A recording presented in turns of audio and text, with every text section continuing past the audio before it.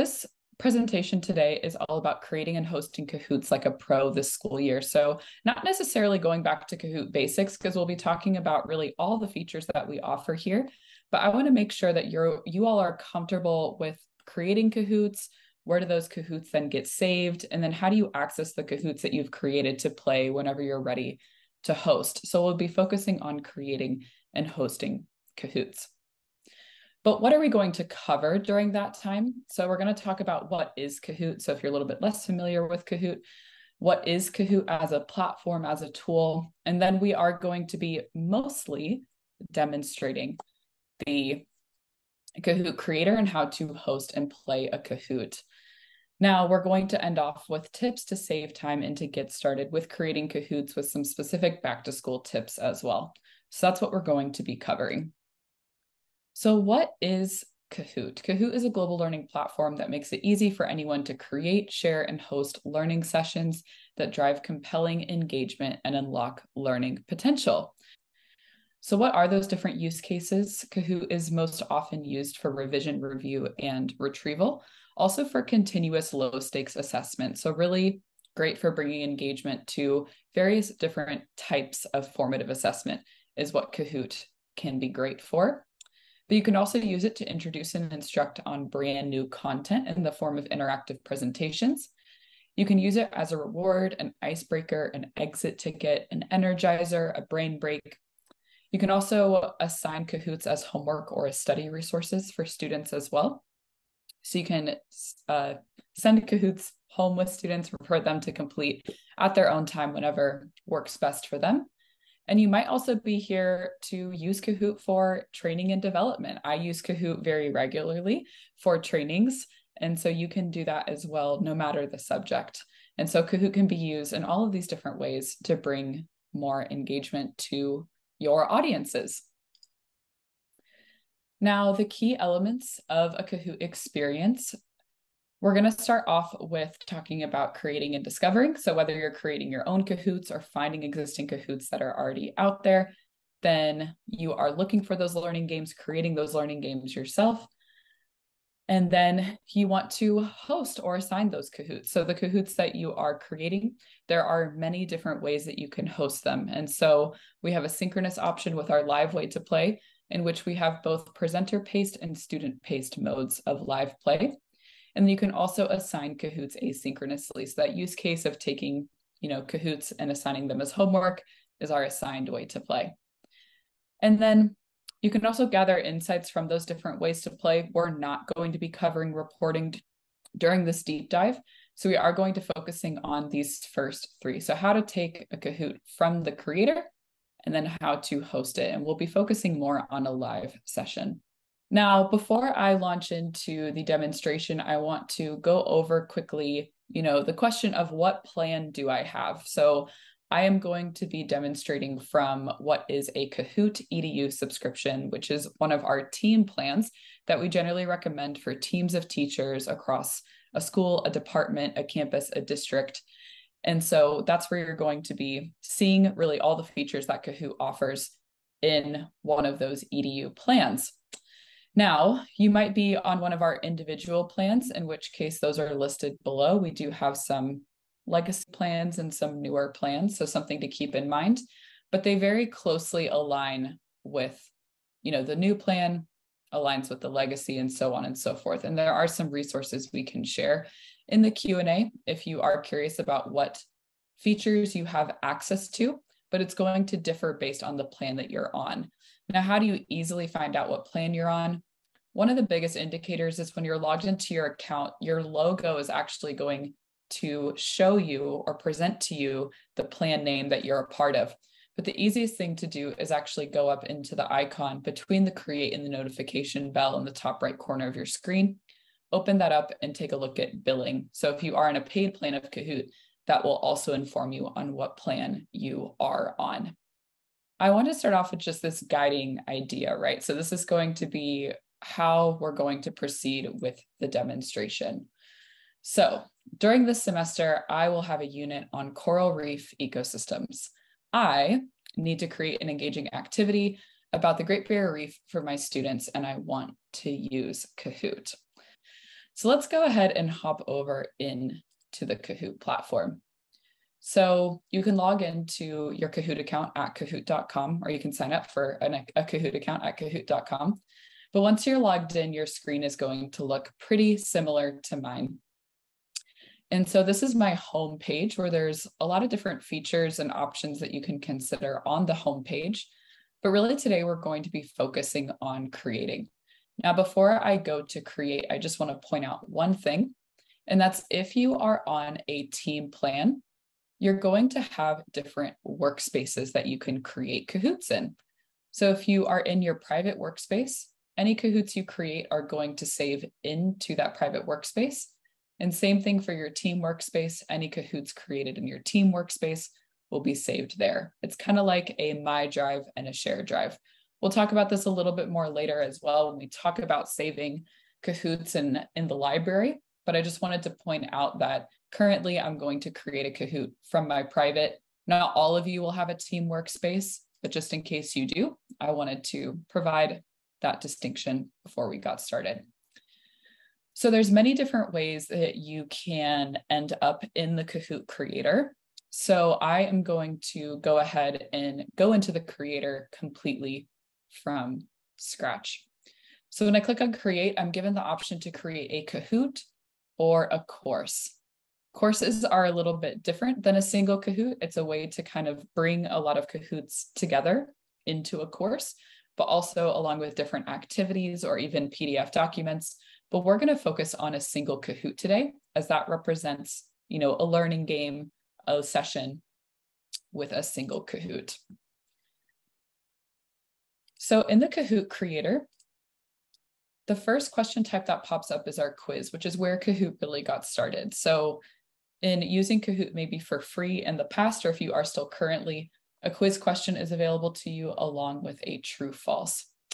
Now, Kahoots can be built up using interactive question types and slides. So when I click on add question, you'll see all of the different question types that Kahoot currently offers. Again, I'm presenting from an EDU subscription. And those question types are broken down into two different categories, one of testing knowledge and the other collecting opinions. These testing knowledge question types are going to assess students. It's also going to gamify the Kahoot experience. And there is going to be a correct answer to these questions by design, where you'll get an accuracy-based report at the end of the Kahoot on how students performed in those questions. Now, if you want to remove the pressure of points from the Kahoot experience, or if you simply want to survey or gather feedback from students, you can use our collecting opinion question types. So this opens up the opportunity in the different ways you can use Kahoot, but also in how you can design your Kahoot.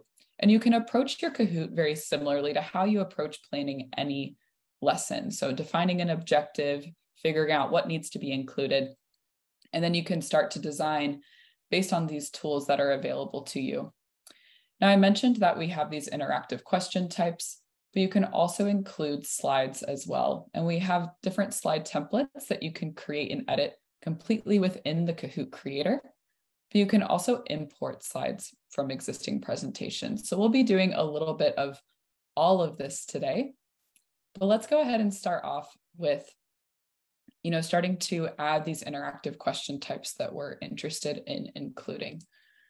So I'm going to go ahead and create a quiz question to start. Now I'm creating a Kahoot about the Great Barrier Reef. So what I'm interested in doing is starting off with a question about where is the Great Barrier Reef located?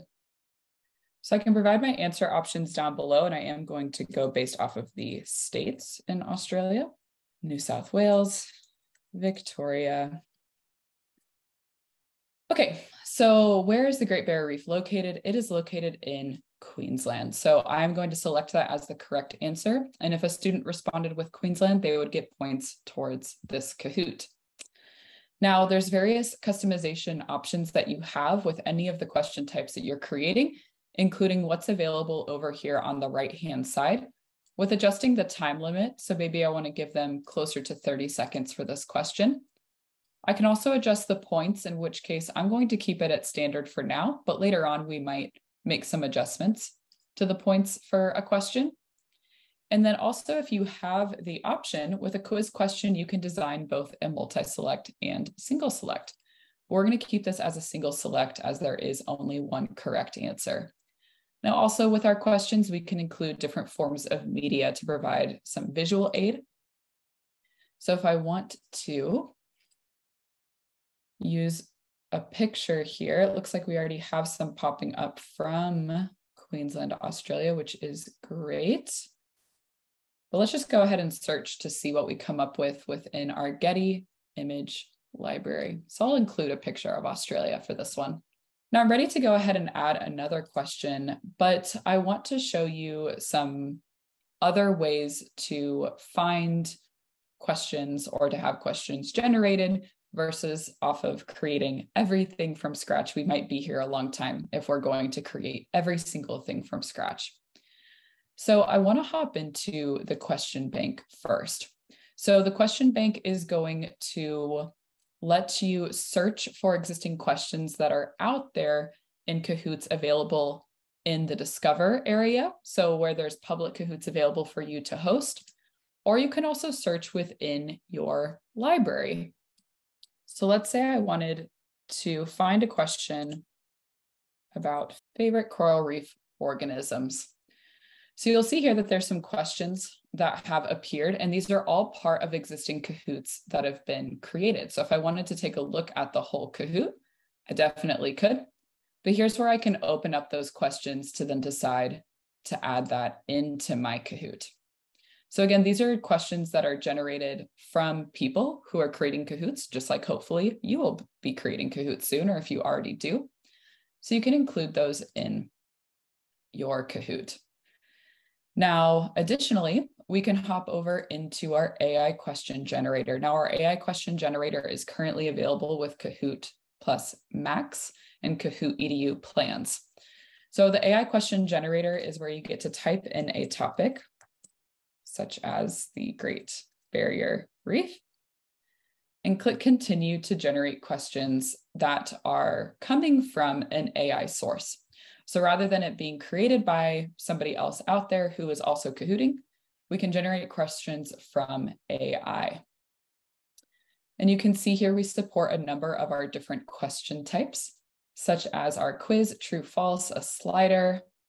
So let's see here. So we have a quiz question. What ocean is the Great Barrier Reef located in? Located in the Pacific. I could include that question. What is the Great Barrier Reef? A coral reef system? That's a pretty intro question that I would be happy to include. I'll go ahead and add that one. We also have approximate length. Is the Great Barrier Reef the world's largest coral reef ecosystem a true false? I'll include that question in. Now, I also want to include this slider. So how many species of fish live on the Great Barrier Reef? And include that question into my Kahoot. So you'll see here that within these AI generated questions and even the question bank, it's just giving you options to questions that you can include in your Kahoot. And so that's how you can kind of easily find questions to incorporate into your Kahoot. And you'll notice that what's really helpful is for question types like quiz, where you don't necessarily always want to come up with your own correct answers to the questions. You can use the AI question generator to support you in doing that. So now we've added a few additional questions to our Kahoot. So let's start off with this poll. Now, I personally like to use any of our surveying or gathering feedback question types at the start of my Kahoot. So I'm going to pop that one up into the first place spot. You'll notice that the experience within the Kahoot creator is very similar to when you are creating a slide presentation in whatever tool you use. So whether it's PowerPoint or Google Slides, you're able to drag and drop questions where you want them to be placed. Let's see here. We'll keep that one. We also have a true false. I'm going to change this one a little bit. So you'll notice too that when these questions are included in your Kahoot, you're able to make edits to them. So we'll add a period here just to make it a statement, but you are able to make any adjustments to the question, even change the answer options. Now, our slider question type is going to provide students the option to submit a numbered response across a particular scale. So this question provided a scale between 1460, between 1510, but let's say I wanted to expand this to 1600. That's an option that I have. It's going to make the range a little bit bigger. And I can even add a unit of species. Now, you'll see here that there's this highlighted area called our answer margin. And so you're able to adjust the answer margin over here on the right-hand side, whether you want to make it a little bit tighter or only accept the correct answer, or you can take it to the full scale or full range. Now, what happens within the answer margin is that all students who respond to a number within the answer margin, they get points towards their response and they get more points the closer they are to the correct answer. So if you're introducing a new piece of information, you might want to give them a pretty big answer margin to really reward them for that participation and for that engagement. Whereas if you are assessing them and saying, you know, I really do expect you to know this, this answer, then you could say, nope, I'm only going to give you points if you submit the exact correct answer. So within this question type of a slider, it really just depends on when you're hosting this Kahoot and whatever you're teaching, and also just the entire goal of the Kahoot itself.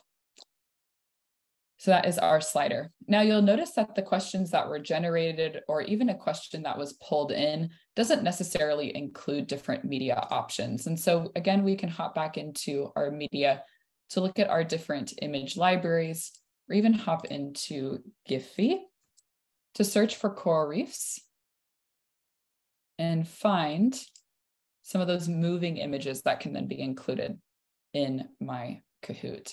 So you can enhance any of your question types with different forms of media. So another question that I want to include is a type answer. So with a type answer, I want to ask, what gives coral its bright colors? Fix that grammatically there. So the answer here is Suzanne Belly. So with a type answer, what's going to happen is that when this question is presented, students are required to then type in their response to the question.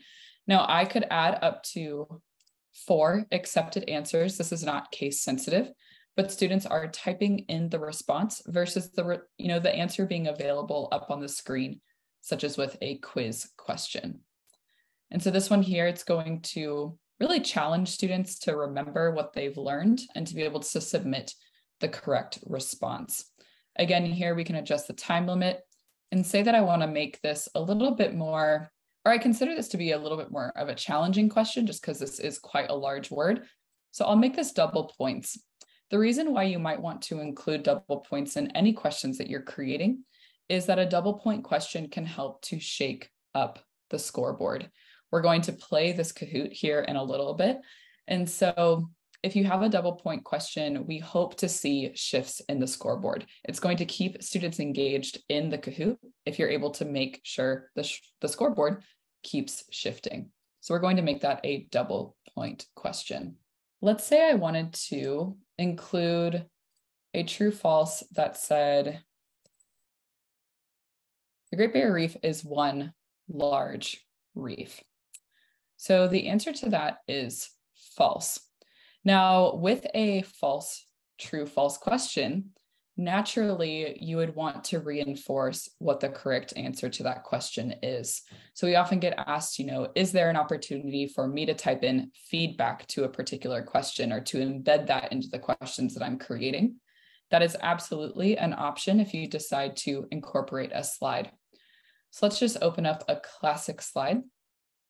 I want to make it known and I want to reinforce that no, it's not made up of one single reef. It's actually made up of nearly 3,000 individual reefs and 900 islands.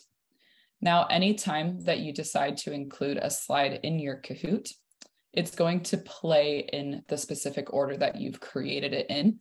And so having that true false and the slide after it, that's going to play that way whenever you go to host it.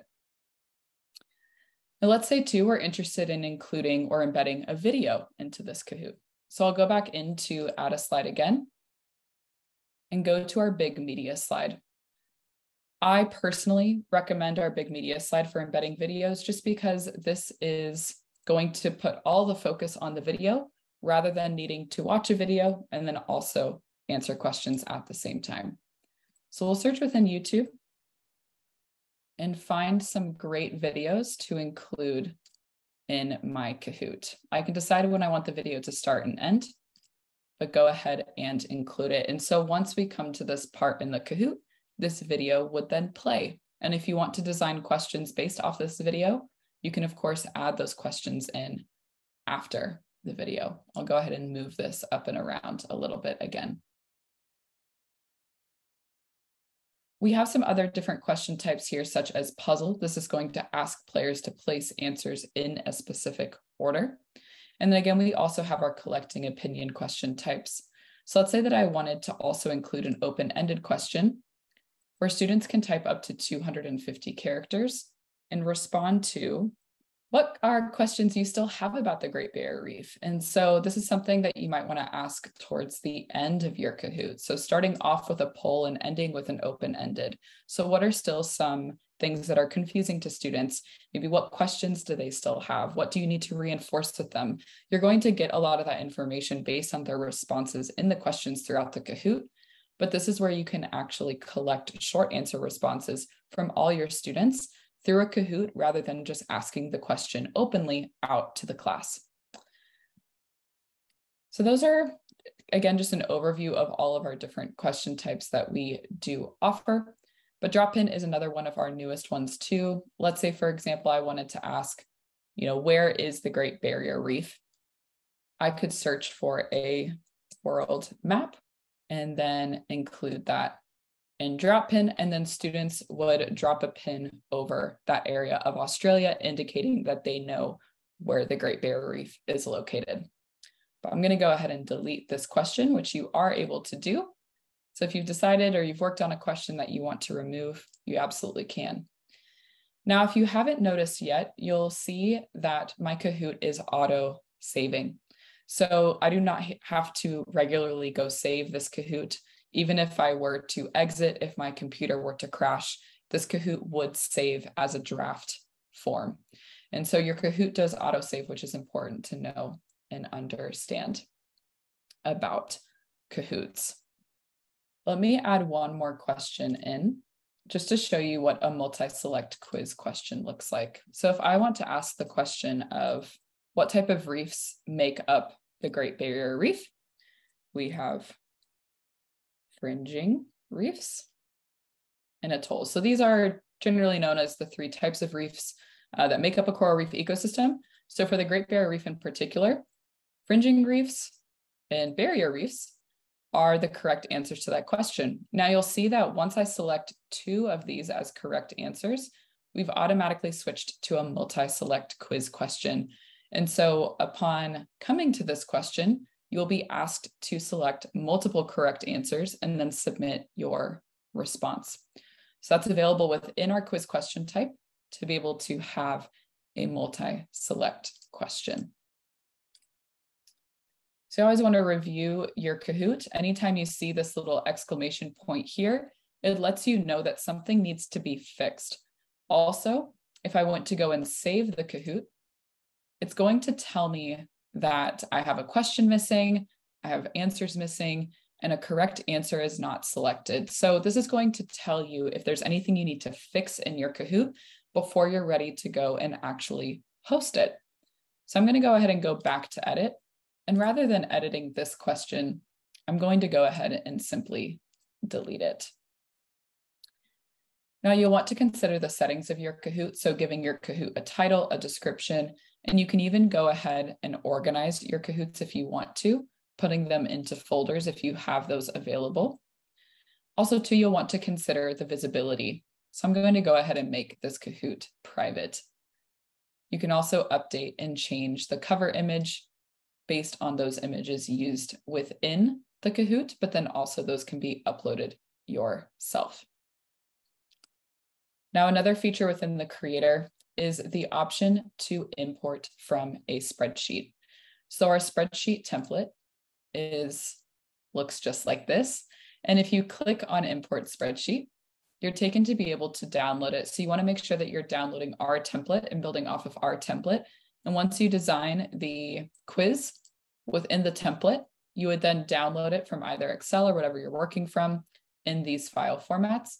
And then you will want to import that back into the Kahoot creator. So that will also auto populate questions based off of what you've designed in a spreadsheet. Now, additionally, you can import slides from existing presentations. So I do want to go ahead and do that. So I'm going to upload a file. I'm going to include some slides into my presentation. Now I'm able to keep editing while importing, and those will work to be imported. So you'll see that the slides automatically populate down at the bottom of my Kahoot here, but I could always drag and drop these slides around. And this will be the end of our presentation today after we go to host this Kahoot.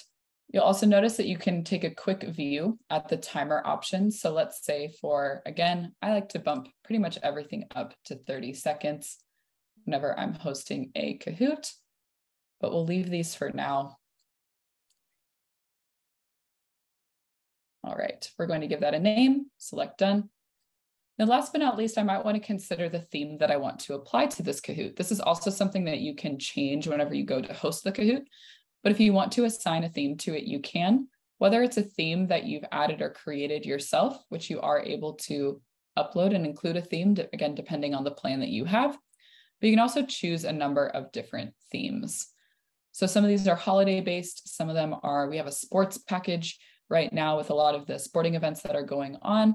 And so you can apply any of these themes to your Kahoot, in which case it will take over the entire background of the Kahoot and even some of them might change the color options and even the fonts used in your Kahoot, such as our space theme. But we're going to go ahead and stick with standard. But that's just another interesting way to kind of customize what your Kahoot might look like whenever you go to host it. So we're going to go ahead and click save on this Kahoot. Now you're immediately presented with previewing the Kahoot, starting the Kahoot, sharing the Kahoot, or even going ahead and playing it in one of our live ways to play, but specifically within one of our game modes. Now I'll show you quickly what preview is because I want you to understand that this is a really cool feature that allows you to practice hosting the Kahoot and playing the Kahoot. So if you're just getting started in hosting Kahoots, or you simply just want to test out playing a Kahoot on your own, you can use our preview function to do that. So I wouldn't recommend using this with students, but if you're building confidence in your own Kahooting, then using that preview to practice and play the Kahoot in any of these different modes is a great way to get started. But I am not ready to play this Kahoot yet. I don't think very often you're going to be creating a Kahoot to then go immediately play it. It might be the case in which we give you some shortcuts, but let's go ahead and click done. So you'll notice that we are now in our library. So within the library and within your folders, this is where Kahoots are saved. So Kahoots are saved in your folders. It looks like I need to place this as private again, so you can also update visibility once you're in your library. And there's a lot of great things you can do from your library, such as go ahead and host those Kahoots, you can also go back in to edit that Kahoot again. And then you can also use a couple of these different functions, including sharing that Kahoot as well. The Kahoots are also accessible to you from the Kahoots tab up top, in which case you have very similar options. But again, Kahoots are saved in your library. So if you're on your homepage, we do give you a bit of a shortcut to the Kahoots that are in your library. You can also navigate over to your library to find the Kahoots that you have saved. Now I'm going to go ahead and start the Kahoot that we just created to go through some of these different options that we have. So I mentioned that we have presenter-led modes and we have student-led modes. We're going to go ahead and play in our classic mode, but I do want to just show you that any Kahoot that you create, that you find out there, you can host in any of these different ways. So, say I wanted to host this Kahoot as a review activity to play in Tallest Tower. You'll notice that when I go to play Tallest Tower, it's telling me that only seven out of the 14 questions or components of the Kahoot are going to be played, and I am able to review that. So a game mode is not going to use any of the slides, whether they're imported or created or any of the polling style questions. It's going to focus in and really only pull out those quizzing or assessment style questions. So again, if you want to take your Kahoot, even if it has all these different elements to it, you can still host it in a review way and focus on those testing knowledge question types. But we are going to go into our classic mode. And I will ask you to join this Kahoot, where you can join at www.kahoot.it, or you can also join with the Kahoot app. The game pin is going to give you unique access to this game. Hold on. We're going to turn off autoplay to make sure that you can join this Kahoot. And since I already pulled that up, the settings for your Kahoot are found down in the bottom right-hand corner. So there's a couple of settings that we, you know, prefer that you consider up uh, being at the top here, such as showing questions and answers on players' devices. But there's a number of different settings down below too, where you can change the different, uh, you know, the way that the Kahoot is going to be played, essentially.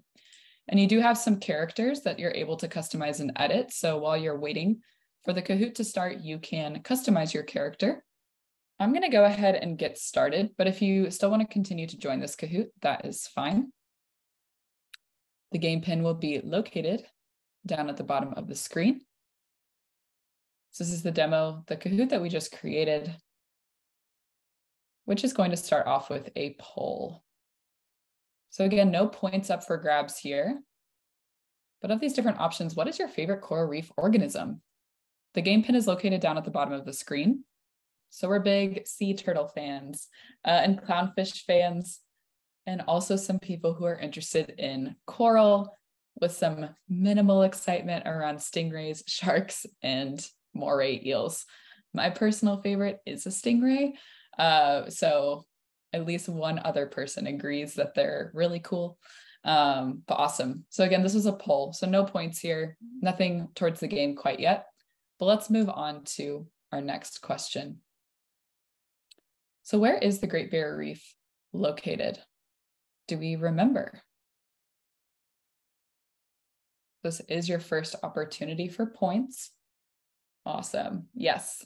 So, the Great Barrier Reef is located off of the state of Queensland in Australia. Now, you'll notice here again, we're playing in our classic live way to play right now. And so why this is called presenter led, it's because I am controlling the pace of the Kahoot. I'm speaking to the Kahoot and you're all answering every question at the same time. So be mindful that if you go to play classic, this is a similar experience to what you would if you were hosting it. We have our first scoreboard here where if you're not familiar with live Kahooting, points are generated both based off of speed and accuracy and that's what's going to change you know where people are at in the game when it comes to the scoreboard. So now we have our double point question of type answer. What gives coral its bright colors? Five seconds left. This one's a little bit harder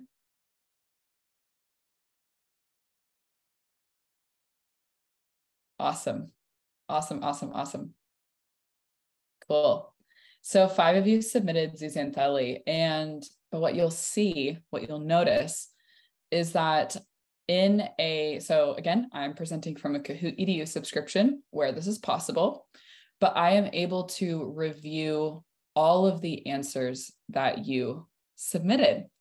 And so this one here, as an example, is very, very, very close. We forgot one L, which is totally fine with me. I'm willing to accept that. And it's even telling me that it's similar to the correct answer. So when it comes to type answer, where as you probably have all been asking yourself, you know, there's a lot of different ways that students might respond to this question. in which I want to accept the answer, but I'm not going to be able to come up with all of those on my own. And so if you have a subscription like Kahoot EDU, you're able to review all of those answers that have been submitted and actually control which players get points. I will accept this one. It's pretty close enough for me. Cool. So we're going to submit that and give those players some points. All right, so you can see here that caused a huge shift in the scoreboard. So the more we can make a scoreboard shift during a Kahoot, the more players are going to remain in the in, remain engaged in the Kahoot experience. So that's what we like to see. So true or false, the Great Barrier Reef is the world's largest coral reef ecosystem, coral reef system.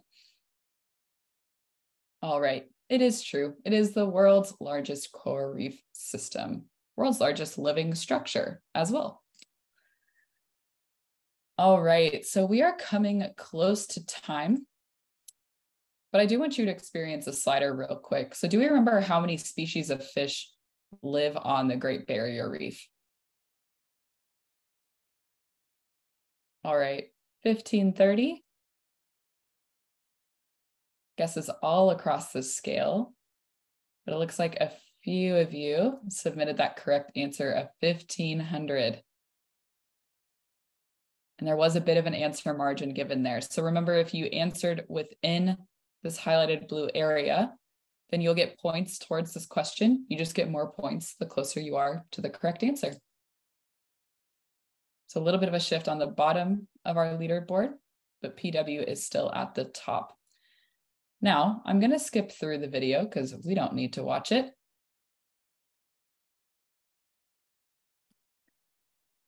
All right. Sorry, I'm going to be skipping through a bit because we are running out of time. But yes, Falls to Great Barrier Reef is composed of nearly 3,000 individual, individual reefs and 900 islands. Now, this is our first slide that we've come to in the Kahoot. So you'll see that there is no timer associated with slides. So it allows me to connect back with you all as my audience to, you know, and to further instruct, to provide feedback, to provide some clarification, even to answer any questions that you might have. And so that's one thing that I really love and appreciate about slides. So we'll get a quiz question again, but what type of reefs make up the GBR? Do we remember? This is a multi-select quiz question. Awesome. Yes, fringing and barrier, not atolls. So I'm going to skip through this open-ended question, but I just want you for, you know, 10 seconds to just look at and type in you know, how long of a response can you type into this one here? But I am going to skip us through very shortly. All right. And with these answers being submitted, you'll be able to review them. So I could show the answer submitted as you can see. Awesome. How healthy is it now? How do I learn more about the Great Barrier Reef? And your responses are going to continue to come up here. How do we protect them? Oh, I love these. So as you can see, this is a really great way. Another, another interesting way to engage with students in asking an open-ended question. So we already talked about several of these different options that you have for saving time, our AI question generator being one of them, importing from a spreadsheet.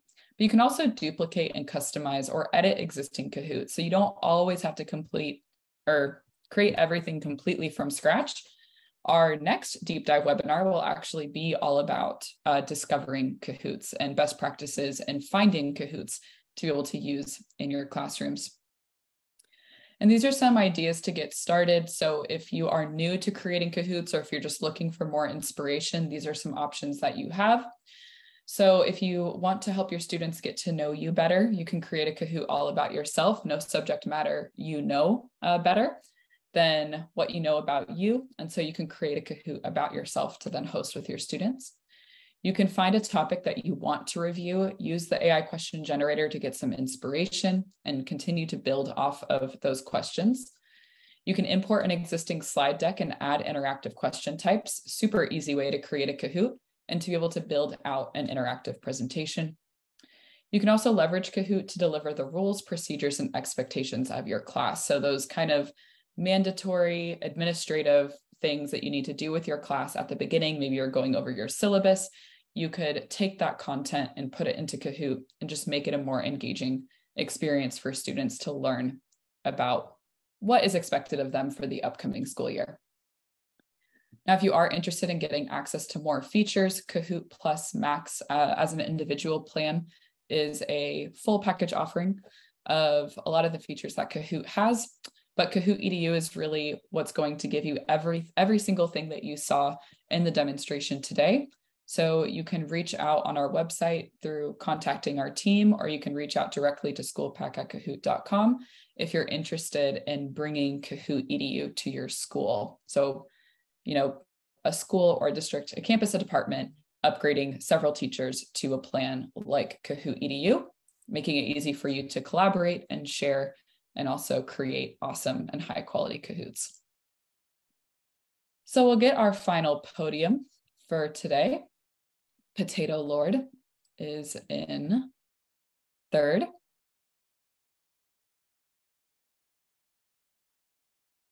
Will, great. So PW and Will with Mal and Princess in fourth and fifth. And I do see a couple of open questions in our Q&A that I can speak to uh, quickly. Uh, looks like they're also being answered for you uh, by my lovely colleagues. So I'm sure I've been answering all of your questions. But Will, that's a great one that I'll speak to uh, live. So if your Kahoot is saved as a draft, that just means that you probably haven't gone to officially save it, or there's something that's preventing it from being played.